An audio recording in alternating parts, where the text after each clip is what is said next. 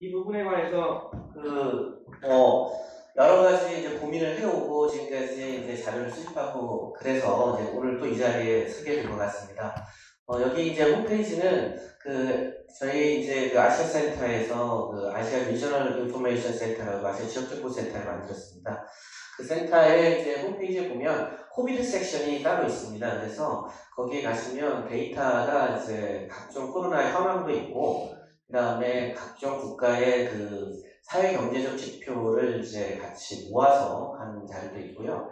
그리고 무엇보다도 제일 중요한 것은 그 개발도상국 지금 한 10개 국가 정도 되는데요. 20개 국가의 그 정책 대응이나 그 사회 경제적 문제들에 관련되어 있는 그 리포트들을 저희가 이제 그 작성을 해가지고 작업을 하고 있습니다. 그래서 나중에 시간이 되시면 어, SNUAC 그 다음에 ARIC라고 해가지고 그 구글에서 뭐 치시면 아마 보실 수 있지 않을까 생각이 듭니다. 제가 오늘 발표를 네, 저기 오늘 제 발표의 그 핵심 주제는 이것입니다. 어, 과연 이제 그 post 코로나를 대비하기 위해서 우리가 어떻게 해야 될 것이냐, 그러면 그 one size fit all이라고 하는 정말 그 magic과 같은 그런 전략이 가능하겠느냐? 그 일단 그 전략을 추구하기 전에 우리가 고민을 좀 해봐야 될 것들이 여러 가지가 있다. 그게 이제 가장 큰 메시지입니다. 어, 저희 그 아리게 항상 그 감사하게 생각하는 것은 그 커뮤니티 그리고 수많은 분들의 노력에 따라서 지금까지 그래도 전 세계가 이 코로나 현상에 대해서도 어느 정도 극복을 하고 있고 그분들의 노력에 대해서 깊이 감사드립니다. 어, 저희가 이제 연구를 하다 보면서 그 코로나 현상이 굉장히 그 어려웠다는 측면이 뭐냐면 상식적인 것과 굉장히 많이 달랐다는 겁니다. 먼저 이제 병원 시설이나 의료, 의료 시설이 좋으면 코로나의 효과, 그 이펙트가 좀 작았을 것이다. 실제로 그렇지 않을 수도 있다. 그 다음에 이제 그 우리가 이제 코로나 현상이 진짜 진행이 되면서 3월 중순에 가면 거의 전 세계에 그 국가 간의 이동이 이제 금지가 됩니다. 근데 이 국가 간의 이동이 당연한 정책으로 이제 그 받아들여지는데 과연 그것이 효과적이었는가 그것에 대해서도 고민을 좀 해볼 필요가 있고요. 그 다음에 이제 한국은 빨리 그 코로나 현상이 이제 전파, 그, 확산이 되었기 때문에 그 한국은 그래도 빨리 그 좀 더 낫지 않겠느냐 이런 생각들을 하시는 분들도 계십니다. 그리고 이제 곧 우리가 이제 그 날도 따뜻해지고 곧 이제 좋아질 것이다 라고 하는 생각들을 하고 있는데 과연 이런 생각들이 맞을 것인가? 먼저 그 락다운 파더스라고 해서 국가 간의 이동 제한을 하는데 국가 간의 이동 제한의 전과 후에 과연 그러면 좀 개선들이 많이 있었는가를 보면 그 여섯 개 국가들을 그 대상으로 해본 경, 그 경험을 보면 국제적인 이동 제한이나 국내 이동 제한이나 이 효과가 그 크게 없는 것으로 나타나고 있습니다. 한국의 경우도 뭐 비슷하게 나타나고 있습니다. 이동 제한의 효과가 왜 어려웠느냐? 당연히 상식적으로 얘기하면 이동 제한을 하면 그게 그 효과가 있을 거라고 생각되지만 이동 제한은 시점이라는 게 되게 중요합니다. 이미 그 적절한 시점을 우리가 알지 못하고 그 시점을 이동 제한이라는 정책을 채택하는 순간에 대부분은 늦었다라는 겁니다. 그리고 이동 제한이라고 하는 것은 실질적인 그 효과가 있어야 되는데 이 이동 제한에서 조금이라도 구멍이 나기 시작하면 그 효과 전체가 사라져 버리는 문제가 있습니다. 그래서 이 우리가 이제 코로나로부터 이동 제한을 해야 된다라고 하는 걸 디폴트로 당연하게 생각하는데 우리는 그것에 대해서 다시 한번 생각해 볼 필요가 있다. 그 다음에 이거는 그, 그 유럽의 국가들인데 유럽 뭐 일반적으로 이제 개도국에 대해서는 그 자료의 신뢰성에 대한 문제가 있다고 얘기를 하셔서 유럽의 국가만을 보더라도 이 의사라든지 또는 간호사라든지 또는 헬스에 관련된 정부의 지출들 이런 것들이 코로나의 그 부정적인 영향을 좀 줄일 것이다 하지만 실제 통계 분석을 해보면 이러한 변수가 그 감염자 수에 그 영향을 주지는 못하는 것으로 나타나고 있습니다.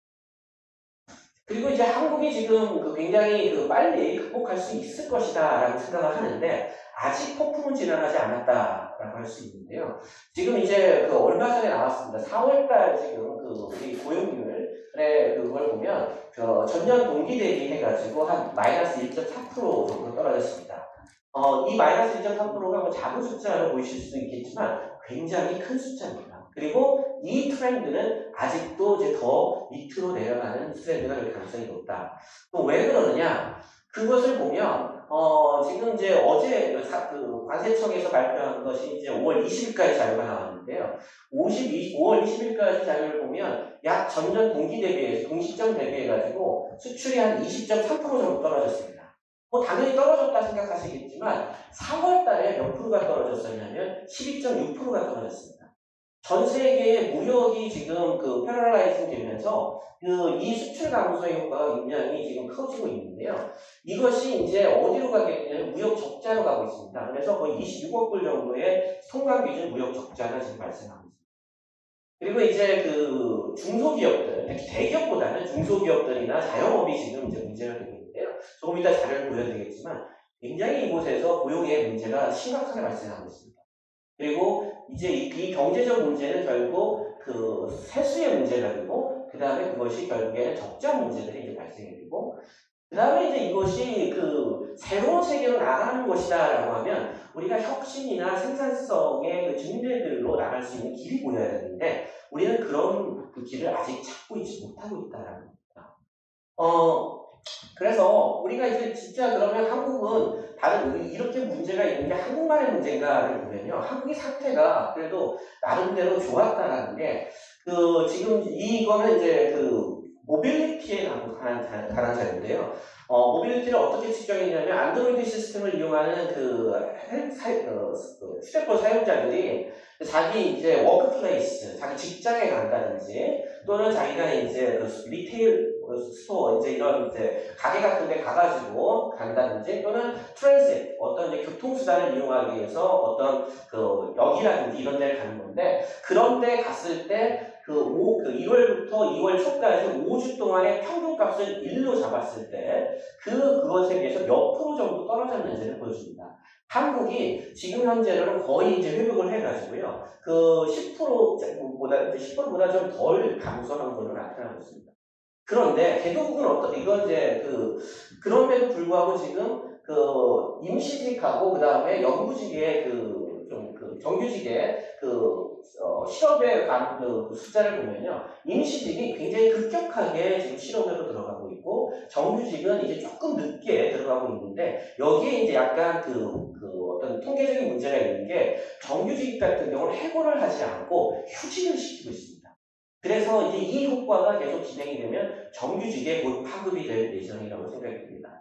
그러면 이 그 다른 국가들은 어떻느냐? 다른 국가의 mobility를 보면요. 이제 여기가 이제 그 싱가 SG라고 해가지고 그 싱가폴이 있는데요. 싱가폴이 지금 50% 이하로 떨어졌습니다. 즉, 그 원래 1월달 대비해서 mobility가 50% 이하로 떨어질 정도로 엄청나게 그쪽은 이제 그 활동이 이제 그 위축돼 있다라는 겁니다. 그리고 다른 국가들도 상당히 위축돼 있고요. 이것은 다시 어떤 걸 의미하느냐면 글로벌 경제에서 우리가 이제 굉장히 중요하게 생각했던 신흥국 시장의 경제가 우리가 생각하는 것보다 악화되어 있는 상황일 수도 있다는 겁니다.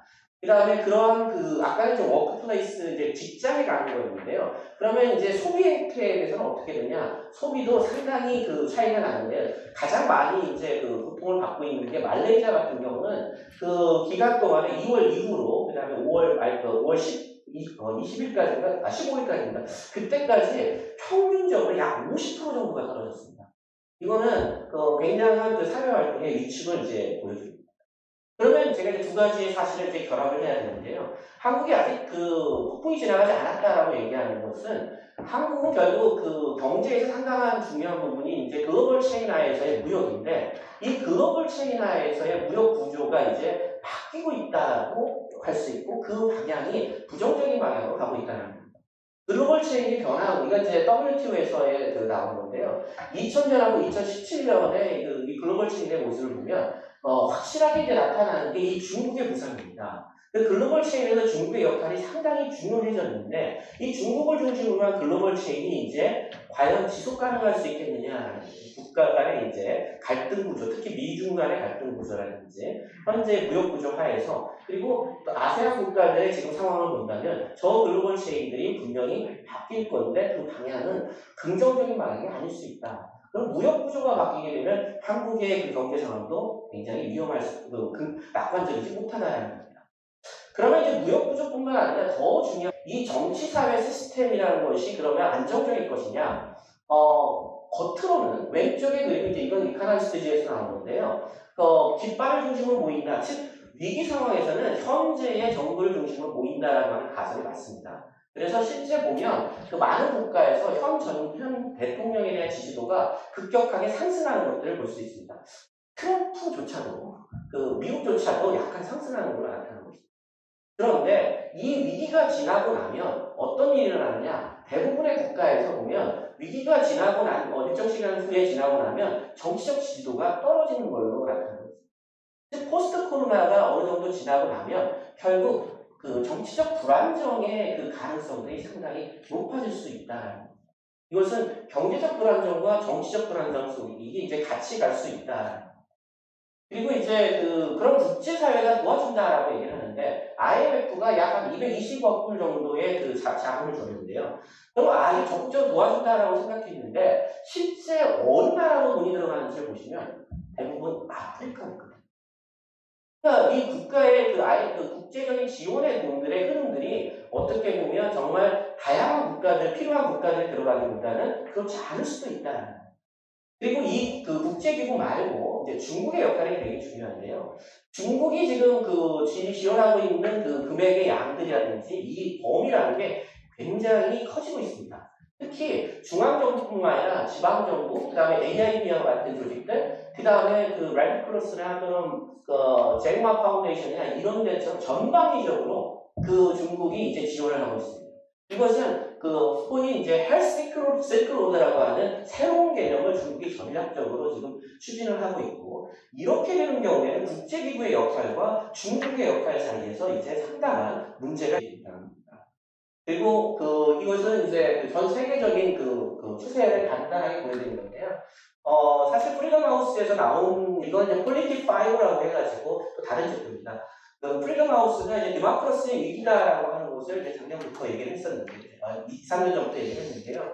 어, 이거는 Polity 5에서 나온 그 민주주의의 상황인데요. 보시면 이 2018년까지 돼 있는데 2018년까지 자료에 보면 이제 마지막에 지금 점점 꺾여가지고 들어가고 있습니다.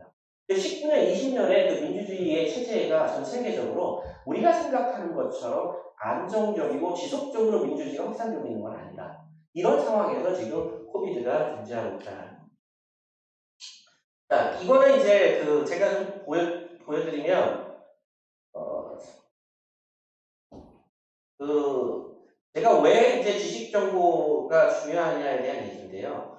어, 저희가 이제 이런 그 문제들을 그러면 볼 때, 그한 국가의 또는 한 뭐 사회다, 경제다, 정치다, 이 한 분야의 이런 것들을 중심으로 우리가 보게 되면 어떤 문제가 생기느냐? 어, 지금 여기서 안 보이는군요. 그 제가. 그러니까 이 화면을 보여드리면 좋은데, 어, 여기서 지금 여기를 보여드릴 수 있나요? 네. 그 저희가 그 맵을 한번 만들어 봤습니다. 그래서 이제 어떤 맵을 만들어 봤냐면, 어, 보이십니까? 여기, 저기, 보이시면, 여기 보시면, 이제 저희가 이 코로나에 의해서 그 여러 가지 임팩트가 올 수 있는데요. 사회적 impact나 또는 어, 재정적 임팩트, 경제적 임팩트, 그 다음에 어, 정부에 대한 부분의 임팩트, 그 다음에 international relation의 impact, 뭐 이런 impact들입니다. 근데 이 impact들은 저희가 이제 조금씩 하나씩 하나씩 지금 그 pile up을 하고 있는데 pile up을 하면서 저희들이 느끼는 게 뭐냐면 굉장히 전방위적인 impact들이 존재한다는 겁니다. 그래서 뭐 하다못해 예를 들면 또 아까 이제 유명근 교수님 말씀하셨던 social trauma 같은 이런 것들이 단순하게 개발도상국만 있는 게 아니라 뭐 선진국 어느 곳을 가리지 않고 이제 존재한다는 겁니다. 그리고 이제 그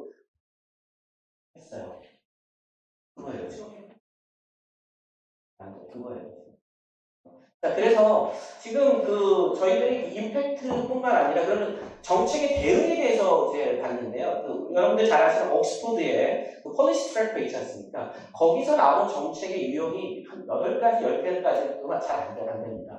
근데 그 정책의 유형을 한 100가지로 그 우리가 분류를 해봤는데요. 이건 저희가 한 게 아니라 그 날버그라고 하는 그 저기 그 비영리라는 책인데 거기서 그 코로- 코로나 관련해서 전 세계, 특히 이제 글로벌 사우스, 그 개발도상국에서 취한 그 정책을 한 100가지로 분류를 했는데 그 100가지 분류를 살펴보게 되면 그 저희 맵에서 이제 나중에 필요하시면 제가 여기서는 안 나와서 보여드리겠는데 그 100가지의 정책에 대해서 그, 그각 개국이 어떻게 했는지를 보면 시점도 다르고 정책의 팔러스 믹스라고 하죠. 정책의 융합 방식도 다릅니다.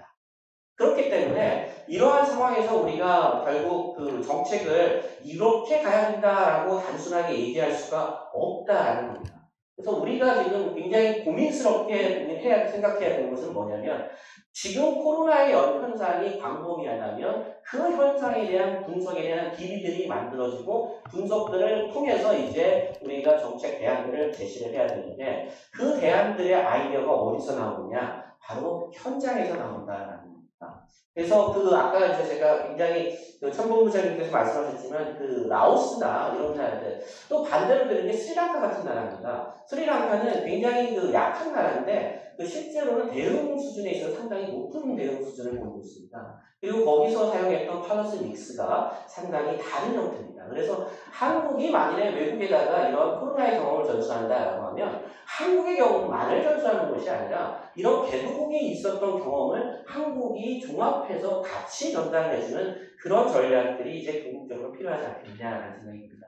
결론을 잠깐 말씀드리겠습니다.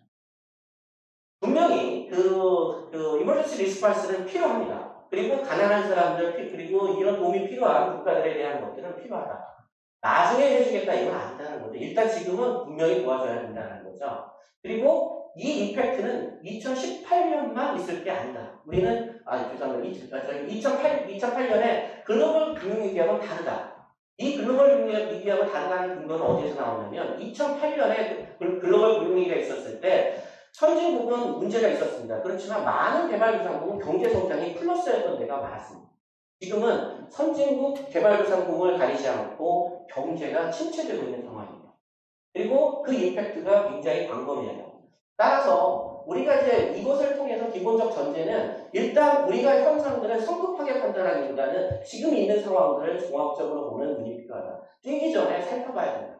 그리고 레스, 교훈을 얻는다고 한다면 그 교훈은 단순하게 폐쇄적인 형태의 접근 방식, 기존의 상식적인 접근 방식이 아니라 결국 오히려 역설적으로 개방의 형태로 나갈 수밖에 없다는 겁니다. 그리고 이 그런 국제적인 협력이라고 하는 것은 실제로 어디서 이제 그 실질적 효과가 나타나야 되냐면 우리가 언제 나타날지 모르지만 나타날지 안 나타날지 모르겠지만 분명히 이제 second wave를 준비해야 되는데 그 second wave를 준비할 때의 자세는 우리가 국제적 협력을 통한 그 준비를 해야 된다.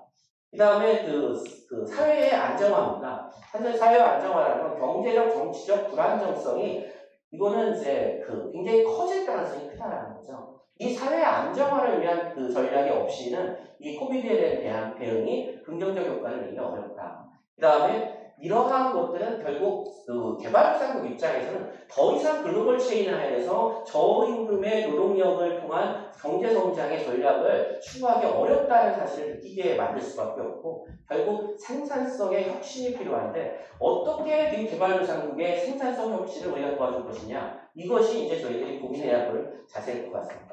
액션 플랜입니다. 뭐 굉장히 추상적인 얘기를 해서 뭐 구체적으로 어떻게 되냐. 첫 번째 이제 그 대한민국이 굉장히 자랑스럽게 생각해야 되는 게 우리나라의 그 포트라나 포이카나 포트라나 굉장히 많은 기구들이 아까 이제 여러 이제 기관들에서 사실 그 각국의 개발도상국의 각국의 현황에 대한 리포트들을 매일매일 생산하고 있습니다. 이러한 정보들을 우리가 굉장히 꾸준히 생산을 해야 되고 그 정보를 이제 누군가는 그 통합하고 가공을 해야 됩니다. 그 역할은 이제 대학이 돼야 되고 연구소가 돼야겠죠. 그런 거를 통해서 우리가 어떤 implication들을 찾아내야 된다. 그리고 이러한 implication들을 찾을 때 우리가 large scale의 그 국제적 원조 이것은 이미 그 차이 중국의 방식이라든지 또는 국제기구 방식처럼 우리가 large scale을 하기 되게 어렵다라는. 그럼 어떻게 우리가 innovative한 solution들을 우리가 그리고 success story를 만들어 가지고 그 해외에 또 전파를 해주고 또 같이 만들어 갈 것이냐 이러한 그 전략들이 좀 필요할 것 같고요. 어 좀 뜬금없이 들을지 모르겠지만 제가 그 young generation이라는 얘기를 좀 드리고 싶습니다. 어, 우리나라의 지금 현재 대응 전략은 현재 세대는 굉장히 보호를 하지만 미래 세대에 상당한 부담을 주고 있습니다. 근데 이 코로나 현상은 우리가 경험하지 못했던 겁니다. 경험하지 못한 세계를 가장 잘 대응할 수 있는 곳은 창의력이 있고 그리고 신, 어떻게 보면 그 다른 프레임을 가지고 이런 문제를 접근할 수 있는 사람들입니다. 그것은 제가 보기에는 새로운 젊은 세대가 아니라는 거죠.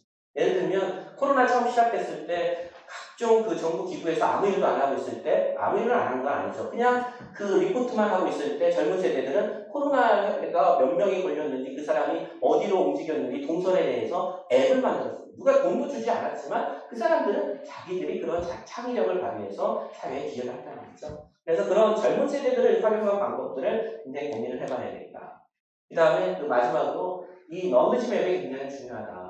옥스포드나 그 존스 홉킨스나 뭐 이런 곳에서 나오고 있는 수많은 분석들에서는 실제 개발도상국의 이야기들이 사실 사라져 있습니다. 근데 이 개발도상국이 굉장히 그 노력하면서 이 문제를 해결하려고 하는 과정들, 그 과정에 대한 너무지가 축적되어 있지 않으면 나중에 post 코로나 이후에 개발도상국의 관점에서 이 세계 질서, 그리고 새로운 세계를 만들어가는 그런 노력들이 어려워지지 않겠느냐. 그래서 어, 저희 아링을 비롯해서 이제 서울대 많은 그 연구자들이 좀 고민을 좀 해야 되는 것이 어떻게 하면 이런 전체적인 만리지맵을 만들어서 이 액션 플랜으로 전환시킬 것인지 이런 것을 같이 고민을 해봤으면 좋지 않겠나 생각을 했습니다. 발표 마치도록 하겠습니다.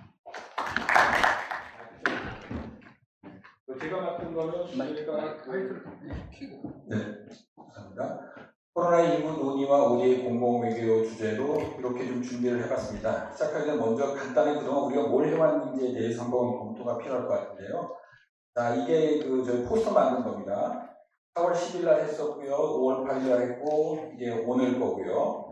사실 처음에 만들 때는 긴급자담회였습니다. 긴급자담회. 그래서 2월 18일 날 이날이 슈퍼 31번 발생한 날이고 바로 다음 날 대구가 폭발한 날. 그래서 긴급이라고 그랬지만 그때 논의하고 세 번을 걸치고 사실은 3월 말하고 4월 초에 여기는 아니지만 달기에 비해서 국제그러니까 시민사회 인권 간담회 여기에 이제 정의지 교수님 참석하시고 코이카가 같이 했던 이런 일련의 모든 것들이 지금 다 이제 정리가 되어 있는데요. 제가 발표 주제를 진짜 4차까지 한거 보니까 국가 및 대륙 간 비교가 12, 발, 12개 발표가 있었고요. 그 다음에 인권문화 사회적 경제 역량 9개, 그 다음에 의료 방역이 3개, 그 다음에 빅데이터, 거버넌스, 국제관계, 개발 및 공공교육 이렇게 좀 구성이 좀 되더라고요. 이거 뭐 그래서 그 그래도 불구하고 아직 못한 부분이 많죠. 우리 정석 교수님 이제 앞부분에서 의료 이쪽, 자연과학 쪽 얘기를 좀 하셨는데 하여간 분포를 이렇게 되고요. 그 다음에 지금 2부에서 하는 게 마지막에 두 개를 모아서 국제관계 세계화 글로벌 가버넌스와 공공외교 국제법 ODA까지를 좀 모아서 우리가 정리하는 그래서 단순 현상에 대한 발표가 아니라 앞으로 어떻게 할 거냐, 뭘 어떻게 할 거냐. 이, 이 행사는 단순 학술회의가 아니라 코이카랑 같이 하는 거예요. 코이카는 집행기관이거든요. 그래서 여기서 얘기되는 담론과 데이터 이 아이디어들이 어떻게 정책과 사업을 연결할 건가 그 논의가 지금 2부에서 하는 것이라고 생각하면 되겠습니다. 제가 그 TBS 정관영 시사잡기가 제 대학 동기인데 요즘 이 시리즈를 방송에서 굉장히 많이 하더라고요. 그래서 제가 쭉 한번 봤어요. 주제를 뭘로 잡는가. 굉장히 흥미로운 그 주제들이 많습니다. 학자들도 많고 어떤 분은 일의 말이라고 이 코로나가 계속될 거라는 얘기를 하면서 그 다음에 어떤 분은 21세기가 세 달 전에 코로나로 인해서 비로소 21세기 시작됐다. 행복의 척도 새로운 용어가 막 만들어져 있어. 코로나 사피엔스, 포노 사피엔스, 스마트폰 얘기하는 거죠. 지구와 도시와 금융화 다 무너진다. 마지막에 뉴노멀까지. 지금도 계속되고 있습니다. 새로운 용어들이 만들어지면 이렇게 쭉 보면은 단순하게 우리의 행복, 개인의 행복뿐만 아니라 그 다음에 큰 이야기들, 경제 위기, 지구화 된 모든 것들이 다 지금 논의되고 있는 이런 것들을 지금 보여주고 있고요. 그래서 어떻게 보면은 요즘 새로운 그 명언들이 많이 만들어지고 있는데 예를 들어서 우리 문재인 대통령이 사람이 먼저다 그랬는데 코로나에서의 오늘 사람이 멈추다가 사람이 멈추니 자연이 돌아왔다. 이런 표현이 나오고요.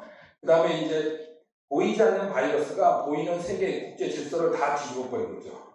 그러니 그 다음에 그 기생충 표현을 하게 되면은 사람이 선을 넘으니까 바이러스가 선을 넘어온 거죠. 그 planetary boundary가 깨지니까 이 현상. 그러니까 기존에 생각했던 모든 것들을 다시 재점검해야 되는 그 앞에서 얘기했던 선진국의 개념 기준도 달라지고 ABC에서 D로 가는 길 모든 것들이 지금 다 최, 처음부터 점검해야 되는 것이 이런 시사잡기 프로그램 주제로 왔다는 건 그만큼 역량이 깊다라는 걸 보여주고 있고요. 보면은 시작은 중국에서 시작했다고 하지만은 한국, 이탈리아, 미국 거쳐 개도 지금 브라질까지 확산되고 있고 하급 영향도 마찬가지죠. 전염병이었지만 공중 보건, 사회, 경제, 국가, 글로벌 가버넌스까지 계속 이 확대되는 이런 형국을 보이고 있고 그 다음에 이제 좋든 싫든 이거는 이제 재난이기 때문에 보통은 저렇게 얘기하죠. 우리가 여기가 이제 준비, 대비가 되고요. 대비해서 그 다음에 사건이 발생하게 되면은 대응을 하고 복구를 하고 저감하는 이 프로세스에 지금 있는데 이게 지금 동시적으로 진행되고 있다는 거. 그러다 보니까 많은 분들이 그, 그동안 논의를 했지만은 이전에와 뭐가 다르냐, 2008년 경제위기, 메르스와 뭐가 다르냐, 그래서 여러 가지 다섯 가지, 이거는 지난번에 얘기했기 때문에 그냥 설명 안 하고 넘어가도록 하겠습니다. 이미 다 나왔기 때문에. 그 다음에 이게 저는 중요하다고 생각하는데, 코이카하고 저희가 네 번째 했는데, 과연 어느 수준에서 볼 건가. 이거를 전염병으로 볼 거냐, 또는 인도적 재난. 이쪽에 보면 그냥 또 수많은 재난 중에 하나입니다. 지진처럼. 과연 그 정도 선에서 볼 거냐, 아니면 이거는 지금 사회 경제로 보면 이제 대공황 얘기가 나오고요. 그 다음에 거버넌스 위기 나오고 글로벌 문화 혁명, 뭐 문명 얘기까지 나오고 어느 척도에 맞을 것이냐. 그렇지만 코이카는 제가 볼 때는 앞에서 한 네 번째까지 아마 하는 거고 아마 뒤로 가는 부분들은 학술 쪽에 더 많이 하고 그 다음에 큰 나중에 큰 운동이 나올 것 같고 핵심은 요즘 유행하는 영어로는 game changer라는 거죠. 단순하게 그냥 이 또한 지나가리라 그런 것들이 아니라 결정적인 game changer인데 이 game changer 성격을 어떻게 이해하고 대비할 건가가 저희가 그동안 논의했던 거의 핵심 주제라고 할 수 있겠습니다. 그래서 이 제가 두 가지를 인용을 했는데 유엔 사무총장이 그래서 뭐라 그랬냐면은 글자가 좀 작아졌는데 코로나19는 분명히 공중보건의 그 긴급 상황이 있지만은 이거는 그거보다 훨씬 어, 그 경제 위기고 사회 위기고 인간의 위기고 결국에 이거는 인권의 위기다라는 유엔 사무총장이 이렇게 표현했습니다. 그런 식으로 이제 성격들이 되고 그다음 문재인 대통령이 많은 것을 연설을 했지만은 코로나에서 가장 특히 이제 국제개발협력 쪽에서 정리를 잘한 그 내용이 3주년 연설이었습니다. 5월 10일 날 연설에 보면은 제가 파란색으로 표시하는 책에 나옵니다. 분명하게 그 포스트 코로나 시대 국제협력 얘기하고 근데 여기 약간 뜬금없이 인간안보라는 말을 알겠지만 약간 90년대 때 유행하는 개념들이 다시 돌아와서 이게 어떤 의미냐를 다시 한번 뭐 논쟁도 있고 그런데 하여간 그리고 맨 밑에서는 남과 북도 인간안보 협력과 하나의 생명 공동체고 평화 공동체 이게 이제 대통령이 생각하는 한국 지금 정부가 생각하는 그동안의 어떤 국제적 차원의 관계를 정리한 그 연설문이라고 할 수 있겠습니다. 자, 이거를 어떻게 OD의 공공외교와 국제협력에 연결할 건가? 그것이 이제 이어서 하는 제 발표의 주요 내용입니다. 그 다음에 한국 정부는 우리 모두 얘기했지만 처음부터 계획을 짜고 한 건 아니었거든요. 막 하다 보니까 여러 가지 나온 것들 제가 한번 재정리해 봤습니다. 외교부에서 나온 공식적인 문헌만 보니까 제일 먼저 나왔던 게 3T였죠. 근데 이 3T는 우리가 만든 게 아니라 WTO에서 이미 그 기준으로 하나 한 거를 우리는 그대로 따라서 뿐이거든요. 그래서 3T가 있고 거기에 외교부에서는 시민 참여라는 걸 붙였습니다. 이게 실행 전략이라면은 그 다음에 나온 외교부의 폼 뭐였냐면 TRUST라는 걸 했습니다. 그래서 한국의 경험을 TRUST의 그 첫자 초성을 따가 이렇게 얘기하고 그거보다 더 먼저 나왔던 게그 G20 정상회의에서 문재인 대통령이 연설을 하면서 한국 경험을 세 가지로 정리했습니다. 개방성, 투명성, 민주성. 그래서 이게 만트라가 돼가지고 모든 문서에 저게 나와 있습니다. 저거를 이제 풀어나가는 거죠. 그 일환으로 트러스가 나왔고, 그 다음에 요번에 그 WHO 그 세계총회에서 초청받아서 연설을 하셨잖아요. 그때 이제 표현은 좀 더 한 차원 높여서 freedom for all, 모든 사람의 자유라는 어떻게 보면 인권이라는 것들이 쭉 깔려 있는 거죠. 이런 식으로 규범 체계가 결과적으로 이렇게 구성이 되어 있다는 것을 다시 한번 확인해 볼 수 있고요. 그 다음에 이제 앞에서 그 복잡계 굉장히 흥미롭게 저희가 들었는데, 복잡계를 단순한 게 SG라고 했는데, SG를 여전히 복잡하다고 생각하는 굉장히 많거든요. 그래서 진짜 그 단순화는 다 다섯 개의 P로 이렇게. 그래서 코이카에서 이미 아시는 분 알겠지만 4P라는 걸 얘기하거든요. 코이카에. 그래서 그 4P라는 거는 People, Prosperity, 그 다음에 Planet, Peace. 왜냐면 파트너십은 수단이거든요. 그렇게 얘기하는데 사실 저 프레임을 보면은 복잡하게 거의 다 들어있거든요. 간단히 얘기하면은 이 바이러스 코로나가 발생한 위기는 환경 쪽에서 많이 탔잖아요. 기후위기라든지 도시화라든지 과잉 생산 소비 문제. 그거는 planet 쪽에 찾을, 찾을 수 있고, 그 다음에 그거를 피해 당하는 사람들이 피플이고, 그그 다음에 피플의 사회 경제적인 프로스페러티, 그 다음에 이게 궁극적으로는 안보 위기까지 가면서 평화로 어떻게 될 건가 이런 것들이 시스템으로 쭉 연결되는데 제가 이걸 얘기하는 건 뭐냐면은 그 쏠림 현상이라 그러죠. 앞에서도 얘기 나왔지만은 코로나 발생하니까 우리나라는 300명 밖에 안 되는데 결핵 환자가 2,000명이라는 거거든요. 말라리아 이런 식으로 저는 그- 그런 의미에서 데이터가 굉장히 중요한 게 이 쏠림 현상을 방지하는 건 evidence 데이터를 가지고 해야지 현실이 보이는 건데 그런 부분에서 아 누가 거든요. 그 SDG도 그런 거 도움이 돼요. SDG가 어떻게 보면 어떤 분들은 이 세상의 모든 문제를 거의 다 담았다고 얘기하는데 그것이 장점 뭐냐면은 어느 쪽으로 쏠리지 않고 어떤 문제가 발생하더라도 전체 framework 속에서 그걸 위치지어서 객관적인 정보에 기반해서 접근할 수 있다라는 그런 장점이 SDG가 아닌가. 그러면서 저는 이번 코로나 이 사건도 단순하게 그냥 코로나라는 거로 접근하는 것이 아니라 기존의 SG 프레임 속에서 어떻게 이거를 만들어 내갈까 그런 것이 필요하다는 차원에서 제가 SG를 간단히 이제 소개를 하고 있습니다. 그래서 SG 관점에서 보면은 그 너무도 상식적이지만 이미 다 있습니다. SG에 다 언급이 돼 있어요. 좀 깜짝 이번에 SG를 다시 이렇게 보면서 SG를 하면은 그렇게 우왕좌왕할 필요가 없는 거예요. 거기 이미 가이드하고 정책 지원이 다 있거든요. 근데 만들어 놓고 다 잊어버리고 있었다는 거. 심지어는 WHO조차도. 그래서 저는 back to base로 다시 가서 이것들을 현상 없이 만들 필요가 있다는 거. 그리고 SDG에서 보면 3번에 있죠. 3번에 보면은 전염병 얘기가 있고, 네, 나, 나오네요. 전염병 얘기가 있고요. 여기 보면은 3.3이 여기 뭐죠? 기타 감염. 근데 이제 SDG는 그거랑 other로 표현해서 other communicable disease라고 표현했고, 그 다음에 국내에서 많이 얘기하는 보편적 의료보장 얘기도 있고, 그 다음에 3PCD에 가게 되면 국제기관은 어떻게 할 건가 다 나와 있고, 근데 중요한 거는 뭐냐면은 그 다음에 16, 17이라는 거죠. 앞에서 공공성에서 지적했지만은 왜 개도국보다 훨씬 공중보건 시스템이 잘돼 있는 유럽에서 적게 됐는가. 결과가 저렇게 차이가 나는 거 여러 가지 설명 방식이 나오는데 결국에는 거버넌스 문제. 거버넌스 문제로 귀착하게 되는 것 같아요. 그 거버넌스는 SDG 언어는 16번입니다.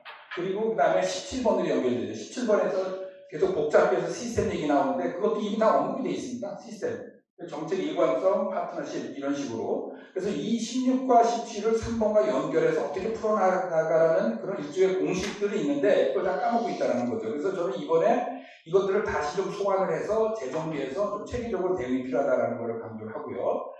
자, 그리고 16번에 들어가게 되면 제가 지난 3개월 동안 제가 일주일에 두 번씩 웨비나를 하거든요. 이제 코이카 프로젝트인데 아시아 개도국 시민사회의 역량 강화 프로그램 원래는 SG의 인권이었는데 코로나 때문에 코로나까지 합니다. 주제별도 하고 국별 보고서를 계속 봤는데 과제가 뭐냐면은 이 16.6 여기 보면은 제도죠. 일종의 하드웨어라고 쓰는데 과연 그 나라의 제도가 효과적이고 투명하고 책무성이 있느냐. 그 다음에 16.7은 소프트에 해당되는데 의사결정 과정. 그 과정이 과연 대응성 높고 포용적이고 참여적이고 대의적이냐, 대표성 갖냐. 요게 하나의 지표거든요. 이거 가지고 코로나를 쭉 분석해 보는 거거든요. 이 작업을. 이게 거버넌스의 핵심이 되는 거죠. 그래서 그걸 보면서 비교했는데 놀라운 현상이 뭐냐면은 앞에서 지적 나왔지만은 선진국, 개도국 그 개념이 이제 전혀 적용이 안 된다라는 거군요. 새로운 기준이 필요하다라는 거. 그거를 저는 마, 지막에그 우리 고 박사님이 얘기하셨지만은 우리의 어떤 이런 비교 연구를 통해서 새로운 기준 설정에 우리가 기여할 수 있지 않나. 어, 그런 생각을 좀 해봤고요. 그 다음에 이제 인권에서도 굉장히 많은, 그러니까 국제사회에 되는 가장 큰 게 인권 규범과 SG라고 할 수 있겠는데, 그 인권 쪽에서 이렇게 얘기할 수 있고, 우리나라가 모범이라고 많이 얘기하지만 인권 단체들은 굉장히 우려를 많이 하고 있습니다. 그래서 국가인권위원장께서 벌써 여섯 번에 걸쳐서 성명서를 발표했습니다. 매번 그 일주, 이주에 한 번씩 그런 상황이었고, 수많은 인권단체들이 인권에 대한 우려를 해왔고요. 근데 다행스럽게도 지적이 할 때마다 상당 부분이 정부가 그걸 빨리빨리 수용을 했습니다. 그래서 반인권적 이라기보다는 좀 뒤늦게 어떤 인권 감수에 떨어진 부분들을 순발력 있게 보완했다라는 것들이 이제 이제 가버넌스가 되는 거죠. 그런 면에서는 나름대로 평가해 줄만 하고요. 그 다음에 시민사회 쪽 볼 때도 국내에서 이제 당사자인 건강 시- 이쪽에 그 건강 자원봉사 이쪽 단체가 끝난 다음에 이제 recovery 단계로 들어가게 되니까 보세요. 종교계, 노동, 복지, 여성, 환경, 인권 단체 모든 단체들이 모여서 이 대책을 이제 운영하기 시작했죠. 그리고 지금 포탈도 있습니다. 거기 가면은 시민사회 모든 그 활동들이 다 올라와 있고 기후 환경 위기에 대한 지적도 나와 있고요. 그다음에 국경을 넘어 협력하는 얘기 나와 있고 그다음에 이제 그 KCOC라고 국제개발 협력을 전문적으로 하는 단체도 여기 이제 적극적으로 대입을 하고 있고 그 다음에 지난 4월 24일은 전 세계 약 150개의 시민사회 단체들이 특별히 문재인 대통령한테 편지를 보냈습니다. 그 굉장히 흥미로운 게 그 마지막에 그 한국 정부가 단순하게 그 인도적 지원뿐만이 아니라 혐오, 차별 이거에 대해서 좀 구체적으로 좀 캠페인 해달라는 걸 요청이 있었는데 왜냐하면 지금 이걸 할 수 있는 정당성을 갖고 있는 나라가 많지가 않거든요. 근데 놀랍게도 외교부가 이걸 합니다. 근데 더 놀라운 건 뭐냐면 상의도 없이 그냥 뭐 저도 나중에 알았어요. 어, 외교부가 저거 하는 거예요. 근데 그런 프로세스가 하나도 없이 막 진행이 지금 이제 그런 것들이 많이 여기저기서 이제 보이고 있는 거죠. 자, 이번에 이제 그 시민사 지난 5월 22일 날 슬로건이 스트롱거 투게더라는 걸로 해서 전 세계적인 캠페인을 지금 이제 진행하고 있고요. 이런 다양한 것들이 진행되고 있습니다. 자, 근데 공공외교로 들어오는데 저는 공공외교에 대해서 앞에서 그 이재열 교수님이 공공성에 대해서 얘기했잖아요. 그거 들으면서 얼굴이 후끈후끈 달았습니다.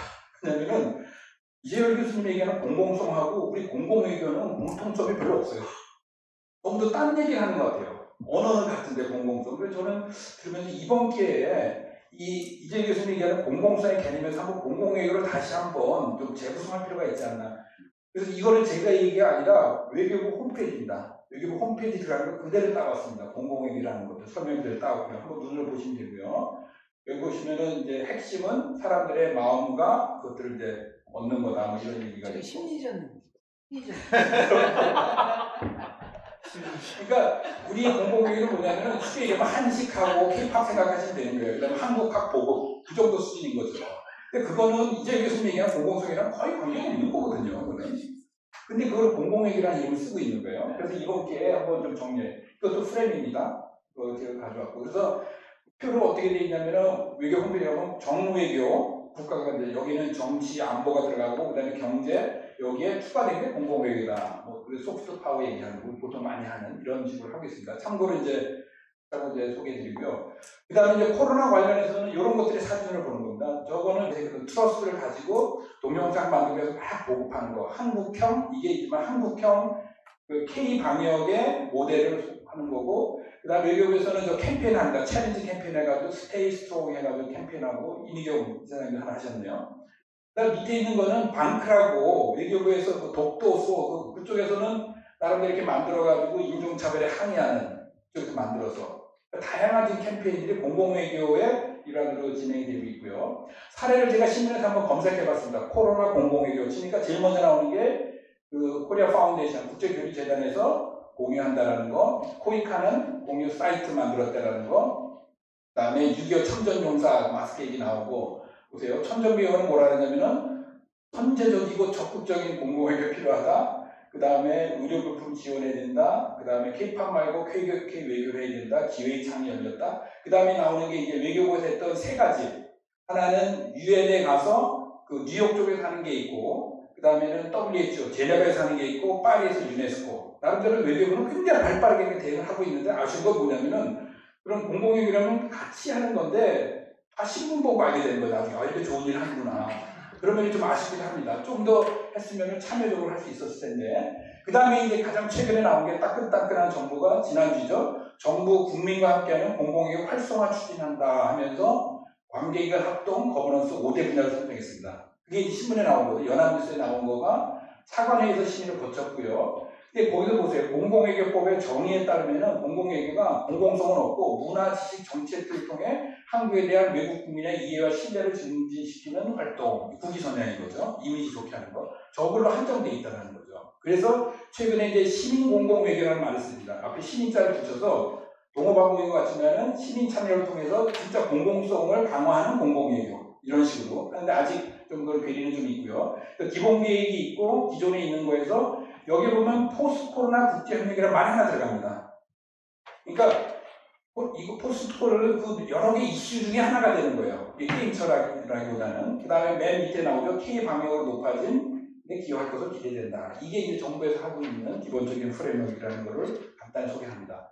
자, 그래서 이제 결론으로 가서 이제 우리가 논의해야 될게 뭐냐는데, 그러니까 BTS 그 관심이 많다 보니까 BTS가 전 문제인 것 같아요. 어떤 문제가 있냐면 첫 번째는 BAU라고 그러죠. 우리 business as usual. 그러니까 아직도 많은 사람들은 이 또한 지나가리라 시간 되면은 그 다음에 옛날로 가고 그 다음에 이 수많은 재난 중에 하나 이렇게 생각하면 굉장히 많은 것 같아요. 그래서 그 첫 번째, 두 번째는 뭐냐면 안타깝게도 정책하신 거 알겠지만은 의도하지 않는 결과들이 있잖아요. 분명히 나는 좋은 의도를 갖고 좋은 정책인데 결과가 그렇게 안 나오는 게 너무 많거든요. 이 정책 충돌의 문제를 어떻게 풀 건가? 저는 여기에 이제 데이터가 기여할 수 있는 부분이 굉장히 많다고 생각하고요. 그 다음에 사일로, 사일로. 그러니까 내가 저는 예를 들어서 스테이 투게더로 외교부 가지만은 국민들은 뭘 더 많이 하냐면은 덕분에 캠페인 알죠. 덕분에 캠페인이 있고 이거 있고 여러 가지가 진행이 되는데 이게 좀 서로 소통이 되는 게 아니라 그냥 자기가 필요한 거 이렇게 하고 그다음에 심지어는 요즘 많이 유행하는 언어가 재난 자본주의, 재난 관료주의. 그러니까 재난이라는 걸 핑계로 해가지고 그동안 관리 하고 싶었던 거를 옛날 프로젝트 다 꺼내서 이름만 바꿔서 다시 들이내는 이런 현상들. 이런 것들이 다 사일로의 그래서 BTS 이걸 어떻게 극복할 건가가 이 코로나가 단순하게 그냥 재난이 아니라 이번 기회에 그동안 풀지 못했던 구조적인 문제들을 한번 어, 풀어해줄 수 있는 계기가 될 수 있겠다 그런 차원에서 세 가지 극복해야 될 도전을 얘기를 간단히 드렸고요. 자, 그 다음에 저희가 하는 게 이 데이터 연구잖아요, 지금. 아직 학술 연구는 데이터가 국가 비교를 저희가 하는 건데, 저는 다 알다시피 저희가 매일 인터넷에 보면 존스 홉킨스에서 데이터가 쭉 나오죠. 그 다음에 전문 연구자들은 옥스퍼드 갑니다. 그 다음 사망에서 데이터가 나와 있는데, 앞에서 얘기했지만, 볼 때마다 저는 불만이 굉장히 많아요. 거기에 깔려있는 오리엔탈리즘과 서구 중심주의가 그대로 반영되어 있거든요. 그래서 저는 이번 기회에 그 남이 만든 데 우리 한국산에 발표하는 게 아니라 우리가 좀 창의적으로 한국의 경험뿐만이 아니라 개도국의 경험, 소위 이런 것들을 잘 모아서 특히 거버넌스 중심으로 핵심의 거버넌스 중심으로 한번 이 데이터의 기본 틀을 한번 좀 만들어 봤어. 이게 잘 돼야 제대로 정책이 나오고 그 정책이 나와야 현실이 바뀌는 그 이번 기회 그래서 이 데이터가 데이터로 끝나는 것이 아니라 코이카라든지 국제협력의 정책과 사업과 시민사회의 캠페인 그 역량과 쭉 연결될 수 있는 분절화가 아니라 이번 기회 이걸 한번 만들어 보면 어떨까 이런 생각을 하면서 몇 가지 이제 토론 주제를 제시. 첫 번째는 국익 그다음에 공공성 얘기 나왔는데 K naming 이거 있죠 K 방역 이거 진짜 굉장히 좀 위험하다고 생각하거든요. 그러다 보니까 그 왜냐면 K 방역에는 규범성이 들어가 있거든요. 그렇지만 K-팝 같은 거는 뭐 좋아하는 사람 거 상관없어요 그거는. 근데 이 말을 쓰는 순간 당장 시민에서 뭐가 나면 K 재난이 나오잖아요. 그죠? 그리고 이 산업재해, 그 다음에 K 자살, 한국의 높은 자살률 앞에다 K자가 들어갈 수 있- 붙일 수 있는 거거든요. 그렇기 때문에 K 이거는 굉장히 조심해야 된다. 저는 안 했으면 좋겠어요. 이 말들을 공식적인 거에서는. 그래서 이제 국익, 뭐 홍익이라는 표현은 우리끼리만 쓰는 얘기지만 하여간 어떻게 하면 이 국익과 글로벌 공공성을 좋아하는 걸 만들 수 있습니다. 두 번째는 대통령께서 인간 한 번에 얘기하셨어요. 그렇지만은 그 말은 사실은 이쪽 업계에서는 잘 아서 최근에 지속적 평화, 그다음에 퍼지티브 이런 얘기를 하거든요. 그래서 좀 그걸 재해석해서 현재 쓰는 규범과 좀 연계성을 높이는 거. 그럼 세 번째는 저희가 학술 연구를 하고 오디 포이카는 민간 독립기구가 아니라 정부기구거든요. 국민 세금을 씁니다. 그렇다면 정부에서 하는 정책과 연계성도 굉장히 필요한 것 같아요. 그래서 그런 의미에서 신남방, 신북방이 지금 많이 쓰는 언어인데 이걸 어떻게 연결할 건가? 그거는 이제 데이터랑 연결되는데 우리가 만든 데이터가 단순하게 그냥 우리 학자들의 호기심 만족하는 것들이 아니라 좀 약간 맞춤형이 있죠. 그래서 그 문 대통령이 연설에 얘기하는 게 G20이 화상 정상회를 했고요. 그 다음에 아세안 플러스 1도 했었고 그래서 거기에 좀 맞춰서 이런 데이터를 백업으로 해가지고 뭔가 정책 지향도 하고 국정을 이끌어갈 수 있는 그런 맞춤형 데이터 생산 관리가 좀 필요하지 않겠냐. 그래서 그 안에는 단순 국가 비교가나 앞에서 얘기했던 그 안에 거버넌스, 시민사 여러 가지까지 보충이 되면은 좀더 내용 있는 국제적 정책이 만들어질 수 있다는 생각이 들고요. 그 다음에 이제 다자간 파트너십 지금 우리가 하고 있는 그러니까 분야가 아니라 시민사 학계 기업의 협력 사업.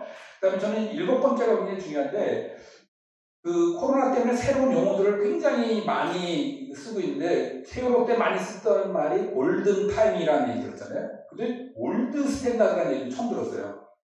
근데 이- 쳐보니까 이거는 저희가 얘기한 게 아니라 미국이 얘기하더라고요. 미국 신문에서 한국이 gold standard래요.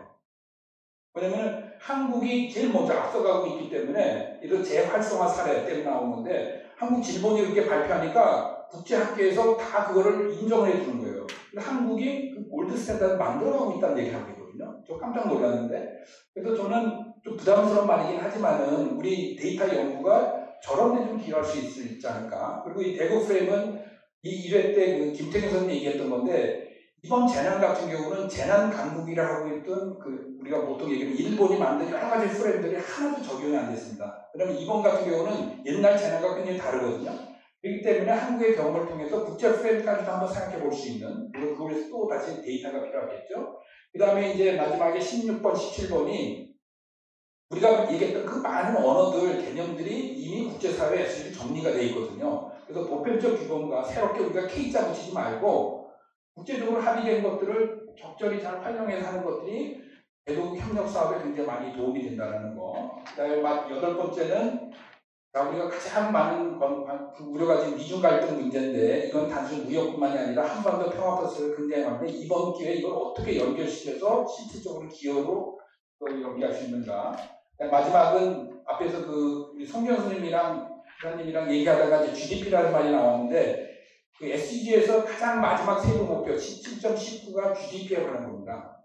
그 데이터에서 그 GDP를 넘어서 다 경제 중심의 그걸 넘어서 새로운 데이터의 필요성을 얘기를 했거든요. 근데 그 내용은 얘기는 안 했어요. 근데 공교롭게도 한국에서 지금 이 논의들이 만들어지고 있잖아요. 디지털과 green과 peace. 이제부터 디지털은 수단이 자체가 목표는 아니거든요. 그러면은 생태적인 사회 연대 경제, 사회를 어떻게 갈 건가, 그 다음에 한 번 더 평화할 건가. 이 코로나가 가져온 어떻게 보면은 많은 도전이 있지만 기회가 있다면은 이번 기회에 이 GDP, 그러니까 beyond GDP가 되는 거죠. 기존의 GDP 모델이 아니라 이 생태와 디지털과 평화가 연계된 하나의 통합적 프레임을 한번 만들어 보는 게 한반도의 문명뿐만 아니라 전 세계에 많은 기여를 할 수 있지 않을까. 여기에 과연 우리 이런 연구가 어떻게 기여할 수 있을까. 그리고 코이카가 이런 연계에서 어떻게 국제협력에 활용할 수 있을까. 그것들을 계속 좀 고민하고 구체적인 성과로 만들어갔으면 좋겠습니다. 네, 감사합니다. 4차까지 오면서 저희가 다뤘던 지금 발표됐던 주제가 39개라고 저기 제가 보니까 나오더라고요. 안 해본 게 없습니다. 시민참여, 한국경제, 혐오차별, 각국 방역정책, 빅데이터, 중국 대응, 동아시아, 미국 불평등, 유럽 집단 상승력, 글로벌 거버넌스 위기, 시민사회, 개발협력, 취약계층 노동, 이주민 종교, 또 아시아 소재 쭉 했습니다. 이렇게 많은 과제를 해오면서 결국은 우리 이성태 아까 잠깐 구분했는데 저도 해보니까 우리가 뭘 제일 많이 다뤘을까를 따져보니까 제일 많은 특히 첫 번째가 빅데이터, 연구, 대륙 국가 간 비교 연구, resilience, 전략 모색 이런 쪽이 14건으로 가장 많았고요. 그 다음이 인권, 문화, 사회, 경제적 영향이 9건. 또 같은 숫자가 세계화, 국제개발협력, 공공외교, 시민참여, 어, 공공외교 쪽이 아홉 건이었고요. 그 다음에 시민사회, 시민참여, 재난거버넌스가 네 건, 의료방역 보건이 그 다음이었습니다. 자, 지금 이 시간에는 몇 분, 어, 플로어에 먼저 그 얘기를 듣고 나서 또 답을 하도록 하겠습니다. 오늘 발표시 발표에 대한, 발표 내용에 대한 질의나 코멘트도 좋고요. 우리가 지금 4차까지 이 심포지움을 해왔기 때문에 우리가 가졌던 lessons learning 뭐냐, 교훈에 관한 얘기들도 좋습니다. 동시에 앞으로 우리 향후 과제는 어떻게 하면 좋겠다. 자, 누가 먼저 한번 누가 먼저 해주실까요? 어떻습니까? 그 제가 생각하기에는 네. 우리 이성원 선생님이 아까 발표한 내용 중에 네. 공공외교의 공공성이라고 하는 거하고 우리가 지금까지 추구해왔던 공공유교 개념을 좀 더더 뭐랄까 재구성한다면 어떤 것이 가능할까에 관해서 뭐 구체적인 건 아니지만 그 약간의 그 아웃라이닝을 구체적인 생각들을 이재일 교수께서 좀 말씀하시는 게 좋겠습니다. 자, 이재일 선생님 답변 준비하시면서요. 이성쌤 안 그래도 지금 얘기하면서 지 얘기하라고 그랬더니만 고기룡 교수님한테 질문을 했거든요. 그 답변 같이 좀좀 고기룡 교수님 부탁드리겠습니다. 너 무 낯선 질문이어가지고 뭐라고 대답을 해야 될지 아, 모르겠는데. 그 기존의 재난과 이, 이 코로나 바이러스로 인한 재난 상황의 결정적인 차이는 결국 코로나 바이러스라고 하는 것은 어,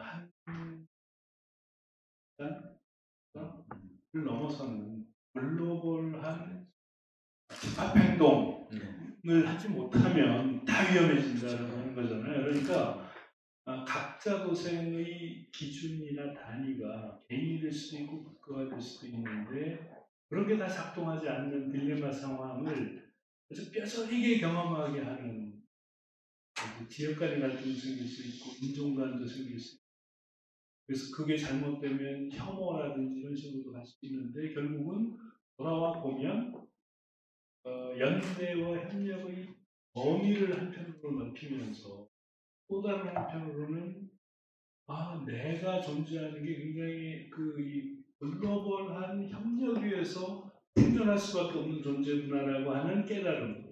그러니까 그 깨달음이라고 하는 것은 그냥 순대로 해석되는 게 아니라 어, 뭔가 느끼고 소득하고 공감하고 그래서 어떤 변화의 그이 단초 같은 것들을 자기 속에서 또 찾아나가야 되는 이런 과제를 주지 않습니까? 그런 의미에서 보면 그 앞부분에서 얘기했던 공공성이라고 하는 게 결국은 어, 안전, 그 안전이라고 하는 것은 그 사회에서 가장 어, 위험한 불리한 위치에 있는 사람들도 어, 살아 살수 있는 조건을 만든다라고 하는 그 이제 롤스식의 분배적정의 개념하고 또 하나는 누구도 자기가 바꿀 수 없는 자기 노력을 바꿀 수 없는 여러 기준들에서 처벌받으면 안 된다. 이게 이제 이 평등의 개념이잖아요. 센으로 식으로 표현하면 역량, 각자, 그러니까 이게 가난이나 배제라고 하는 게 단지 결핍을 의미하는 것이 아니라 뭔가 자기 능력을 키워나갈 수 있는데 그, 그 기회부터 배제되는 그러니까 훨씬 더 펀더멘탈한 배제를 의미하는 거죠. 그래서 역량을 늘린다라고 하는 건데 역량이라고 하는 것은 결국은 그 사람이 자기 운명을 결정할 수 있고 공동의 의사결정에 참여할 수 있고 그 다음에 억울한 어, 언페어한 대접을 받았다라고 하면 거기에 대해서 컴플레인을 하고 개선을 할 수 있는 여지 그러니까 능력을 배양을 하면서 정치적으로는 또 참여할 수 있고 공동체의 의사결정에 같이 할 수 있는 기회 이게 이제 역량이라고 볼 수가 있고요. 그 다음에 이런 일들이 가능하려면 뭔가 공통으로 기대하는 공통의 규칙이 있어야 되고요.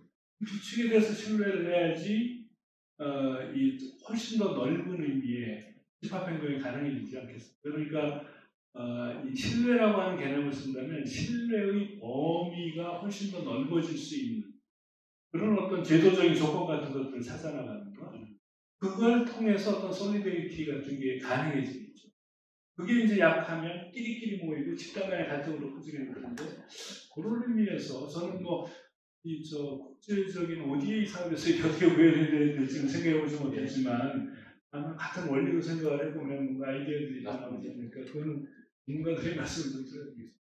자, 이건 다시 이승훈 선생도 답을 하셔야 되겠습니다. 결국은 우리가 얘기하는 공공성 속에서 포함되어 있는 공동체성이나 연대와 공조와 신뢰라는 이러한 가치 규범들이 우리가 공공외교를 지금 정리하는 과정에서 좀 다르잖아요. 아까 public health가 대, 어, 대중보건이냐, 공중보건이냐, 보건을 왜 공공성이냐로서 해석이 서로 달라질 수도 있듯이 공공외교가 그러면 또 해석을 어떻게 바꿔야 될 것인가도 이승훈 선생도 답을 좀 한번 하시면 좋을 것 같습니다. 골동 교수님 답을 준비되셨습니다. 네, 어, 먼저 그 저는 데이터 쪽을 중심으로 보다 보니까 어, 저희가 이제 그 데이터에 대한 관점을 좀 바꿔야 된다는 말씀을 드리고 싶습니다. 그 관점은 방금 이재일 교수님께서 말씀하신 내용하고도 일맥 상통합니다. 그러니까 제 K 방역 뭐 이런 게 문제가 아니라 데이터를 왜 우리가 모으고 분석하느냐라는 겁니다. 궁극적으로 그것은 그 우리나라를 위한 것이 아니라 이거 국제사회 문제이기 때문에 연대 개념으로 가야 되는 거고 그러니까 한국을 넘어서 국제사회, 국제연대, 국제사회 구성으로서 책임 있는 활동을 해야 되는데 그 활동 중에 하나가 우리가 잘할 수 있는 부분 중에 하나가 이런 이제 그 한국의 경험과 그 개도국의 경험들을 좀 더 체계화하는 거고 체계화하는 방법 중에 하나로 데이터를 수단으로 삼자 데이터가 목적이 되는 것은 절대 아니고요. 두 번째는 그, 그 데이터 분석을 통해서 지금 나오, 나와야 되는 우리가 배워야 되는 교훈들을 참 찾아야 되는데 이 교훈들의 예를 몇 개를 들면 우리가 1월달, 2월달, 3월달 그 신문에서 우수한 방역 국가라고 나왔던 사례들을 한번 보시면 2월달에 싱가포르 얘기 많이 나왔었죠.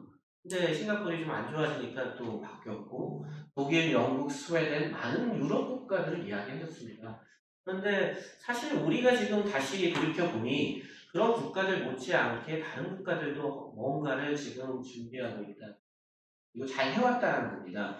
그러면 데이터가 어, 보여줘야 될 그 모습은 현상을 편견을 갖지 않고 as it is로 보여주는 노력을 좀 해야 되는 거고 그 노력을 통해서 우리가 대안들을 마련해가는 작업 과정이 필요한데 다행인 것은 이 데이터를 수집할 수 있는 역량을 가진 사람은 선진국에만 있지는 않다는 겁니다.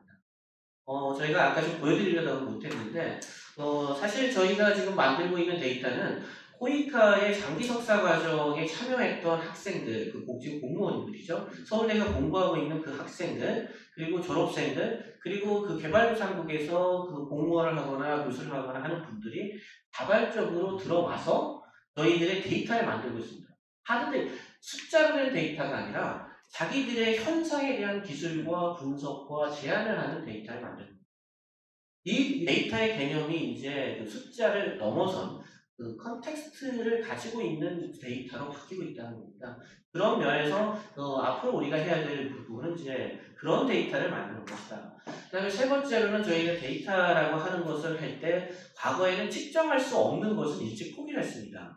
그렇지만 측정할 수 없지만 우리가 무언가 알 수 있는 정보들이 있습니다. 그걸 어떤 식으로 우리가 객관화시키고 공유할 수 있는 형태로 바꿀 것이냐. 그래서 제가 그 knowledge map이라고 얘기를 했던 것이 뭐냐면 이 이제 그 CRN을 하다 보면 많이 느끼는 게 아 그래 맞아 social trauma가 있는데 그 트라우마를 어떤 식으로 우리가 정의하고 극복하고 해야 될 거냐 그런 것들에 대한 정보들은 어, 숫자가 아닌 형태로도 충분히 우리가 그 그림들을 만들어 나갈 수 있다고 생각합니다. 그래서 그 post 코로나에 대한 수많은 정책들은 지금 만들어지고 있습니다. 그리고 그 정책들에 대한 이제 이념화 작업들, 이론화 작업들은 사실 이제 많은 학자들이 해야 되는데 저희가 그 이론, 이론화 작업에서 이번에는 제발 그 편견과 상식에 기반한 이론화 작업 보다는 그 대덕에 대한 깊이 있는 이해를 바탕으로 한 이론화 작업을 해야 되고 그것을 위한 도구로서 우리가 그 아시아 센터의 아시아 지역 정보 센터나 또는 많은 각 그 기관들에서의 데이터 작업들이 이루어졌으면 어, 예, 예. 우리 김준 교수님께 그, 이성 쌤도 얘기했는데 복잡성에 관한 단순성을 말씀하셨는데 단순으로 하고 마지막에 그 PPT에 나왔던 게 SDG였거든요. 그럴 때마다 또 이성훈 쌤은 SDG 자체가 얼마나 복잡한데 지금 그것도 해서는 안 되는데 그걸 단순하다고 얘기하면 어떻게 답을 하는 거냐.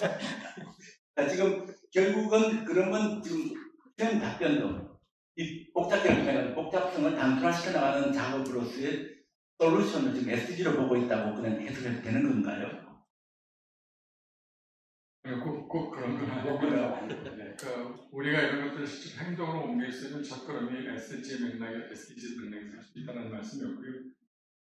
어 이제 저 예를 들어서 저희 연구실의 만트라의 그 캐치프레이즈는 복잡해서 단순 찾기입니다.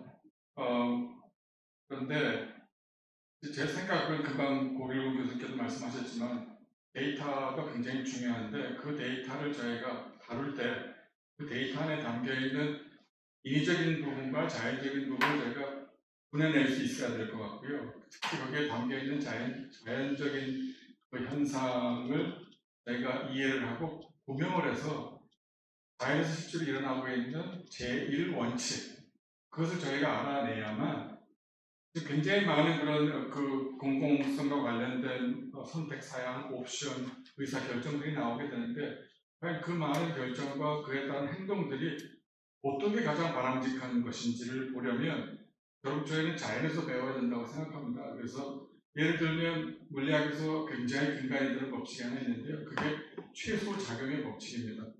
이 법칙을 다른 말로 풀이하면 자연은 검소하다. 그래서 자연에 있는 굉장히 많이 복잡한 시스템들을 구성하고 있는 그 구성 요소들이 있는데요. 그 요소들이 어, 어떤 행동을 하게 되죠. 근데 그 각 요소들의 개별적인 행동을 전체 합한 것은 시스템 차원에서 최소가 되는 방향으로 자연을 움직인다는 겁니다.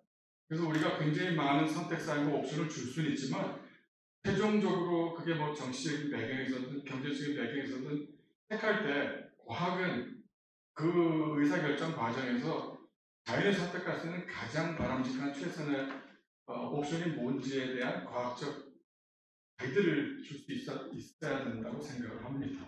이 정도면 됩니다. 예. 자, 마찬가지로 지금 나와 계신 우리 천주환 본부장님, 윤유리 박사님, 기관 대표는 아니지만 지금 계속 요구되고 있는 포스트 코로나에 그러니까 에너지 development, alternative development에 관한 요구들이 계속 나오고 있고 아마 각 기관마다 그 고민을 하고 있습니다. 일분 발언들 좀 부탁드립니다. 박사님들. 예, 지금 그 저희가 같이 일하는 그 개발도상국, 즉 협력국들에서도 많은 지원 요청이 있고 국내적으로도 많은 어, 계획이 뭐냐, 전략이 뭐냐 그런 요구가 많이 있는 상황입니다. 예, 현재 상황에서는 지금 다 국경을 닫고 그 사회적 거리를 둬야 되고 물론 저희가 해외 사무소가 있고 국가는 저희보다 더 많은 해외 사무소를 갖고 있지만 그 사무소 내에서도 어, 그 사람들은 그 나라의 그 모든 정체나 제재 조치에 따라야 되기 때문에 모든 활동들이 제약이 있는 건 사실이고요. 지금 당분간은 저희가 지금 협력기관들하고 같이 해나가는 데 있어서는 아까 그 4차 그런 산업혁명에서 그 온라인 교육이라든가 아니면 화상회의 그리고 경험 공유, 지식 공유 등을 갖다가 일차적으로 지원을 하고 그리고 그 나라에서 긴급하게 필요한 물품들을 갖다가 지원을 하면서 이 위기를 좀 헤쳐나가고 추후에 모든 상황이 완화됐을 때 향후 또 이러한 유사한 일이 발생하는 걸 대비하기 위해서 국제 공조 체제 및 각 국가별 그 감염병 대응 역량을 강화해야 하는데 지원하는 게 옳은 방향이 아닐까라고 생각합니다. 어, 우리 이성훈 쌤 그리고 마지막으로 정은식 교수님 제가 모시고 싶습니다. 이성훈 쌤이 아까 얘기했던 silo 칸막이 제가 늘 떠들던데 따로국밥. 그게 어떻게 해서 nexus가 될 수 있고 holistic approach가 될 수 있을 것이며 융합하고 통섭할 수 있을 것이냐 의제를 하는 방법과 이제 우리가 달라요. 이제 저 국민학교 나온 사람들하고 초등학교 나온 사람들이 다른데 국민학교 나온 사람들은 우리는 군관민 군관민 했었고 요새는 이제 민관군 아니면 민관 요새 문자 나왔어요. 민관상학이라고 하는데 이런 멀티 스테이크홀더의 협업까지가 이제 고민되는 것 같습니다. 그 포함해서 우리 이성훈 쌤 마지막 발언해 주시고 정은식 교수님 모시도록 하겠습니다. 그 오늘 너무도 많은 걸 배웠는데 저는 두 분 그 이제 공공성이란 말을 뭐 자주 쓰지만은 이번에 아주 체계적으로 코로나 맥락에서 한번 연계해서 한번 배웠고 복잡계를 복잡하지 않게 설명하시는 건 진짜 대단한 능력이신 것 같아요. 처음으로 제대로 이해했습니다 제가 planetary boundary까지 다 연결해가지고 그래서 이 두 가지를 어떻게 해서 좀 할 수 있을까 그런 먼저 감사 인사를 드리고 몇 가지 제가 코멘트 겸 제안 드리면 첫 번째는 여전히 이제 공공성이라는 개념이 일국 중심이잖아요. 이 코로나를 위해서 이제 국, 국경이 없다라는 걸 확인이 됐는데 여전히 우리 사회학 방법론은 이제 일국적 중심주의잖아요. 그래서 이걸 어떻게 넘어갈 건가.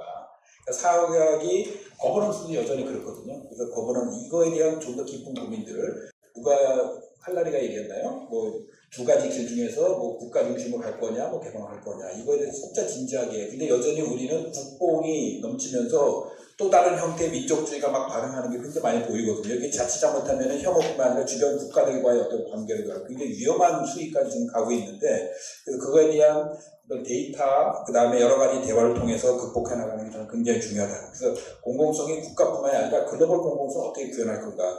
지금 가장 큰 화두가 지금 백신 문제잖아요. 백신 전쟁이라 할 정도로 누가 먼저 그걸 해가지고 자원 민족주의 하듯이 백신 민족주의 그리고 가는 그런 경향성을 만들고 과연 한국이 그런 생각들요 만약 한국이 백신을 회사가 개발한다면 만약에 어떻게 될까?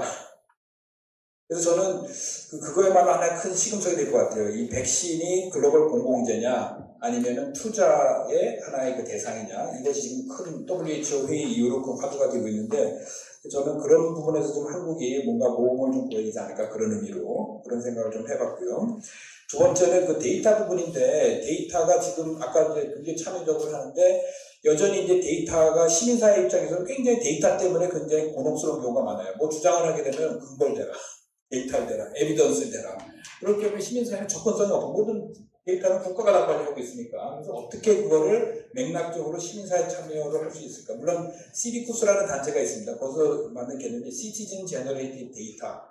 그걸 가지고 SDG 모니터링 하거든요. 그래서 시민사회를 좀 더 조직적으로 참여하는 방식과 연계가 잘 됐으면 좋겠고, 그리고 이 코로나가 앞에서 얘기했듯이 제가 SDG를 이제 복잡계에서도 강조해 주셨지만은 그 가장 그 영어로 하면 comprehensive framework, quality framework이거든요. 이것과 같이 잘 연결시키고 그다음에 인권과 연결시켜서 하게 되면은 똑같은 데이터를 하더라도 그 국제적인 그이 하나의 그 소통뿐만이 아니라 정책에 영향을 줄 수 있는 효과성이 많아지기 때문에 그거에 대한 그 체계적 연계를 좀 더 많이 했으면 좋겠고 그게 다 16, 17에 다 들어와 있거든요. 근데 아쉽게도 우리에서 아직도 SG 얘기하면 다 많은 사람들이 환경만 얘기하고 SG는 코이카가 하는 거라만 얘기하거든요. 그렇지만은 지금 마침 서울대에서 그거 만들지 않나요? KSG 작업하시죠?